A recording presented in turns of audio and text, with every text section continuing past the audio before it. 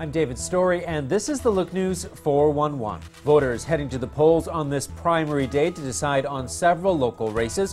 One of note is the Saratoga County Sheriff Republican primary, where Jeff Gildersleeve and Michael Zurlo are running for the single Republican line. Polls are open until 9 p.m. A potential strike against Syria could be on hold tonight after the country's government accepted a deal proposed by the Russians that would place the country's chemical weapons under international control for dismantling. Despite that agreement, President Obama remains skeptical that Syria will not follow through, and that's why local residents held a rally Monday to have their voices heard on the issue. A group gathered on Broadway to rally against any military action.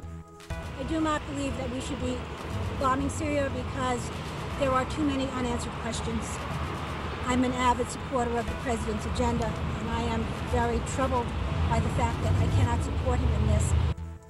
The rally was part of a nationwide protest to convince leaders to vote against a bill to send missiles into the region in response to alleged use of chemical weapons. Well, Tuesday marks, actually Wednesday marks 12 years since the September 11th terrorist attacks, and two area communities will officially mark the day with remembrance ceremonies.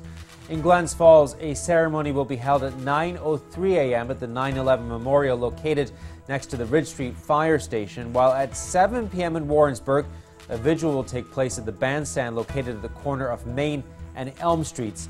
This year, the city of Saratoga Springs has no official event planned at the 9-11 Memorial located in High Rock Park. The Washington County Sheriff's Office says a man was driving his car nearly five times the legal limit. 41 year old Richard LaFerriere of Kingsbury was arrested Sunday afternoon after a woman he knows called police to tell him that he was stumbling and falling out of his vehicle. The woman took LaFerriere's keys, and police determined he had a blood alcohol level of 0.39%. The legal limit for operating a vehicle is 0.08%. Now, he was taken to Glens Falls Hospital, then charged and released. Continuing coverage on the future of professional hockey in Glens Falls now, Mayor Jack Diamond has announced he will meet the American Hockey League's Board of Governors to discuss why the city should have an AHL team.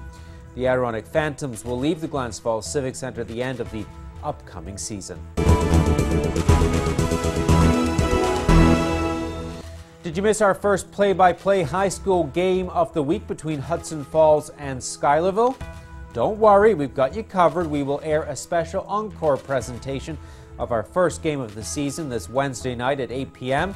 We won't tell you who won, but I will tell you Schuylerville's Josh Thomas is our first contender for the Janney Montgomery Scott Leadership Grant. The latest headlines are always here on the website, and we're on air weeknights at 6 and 10 p.m. Look News can be found on Time Warner Cable Channels 8 and 68.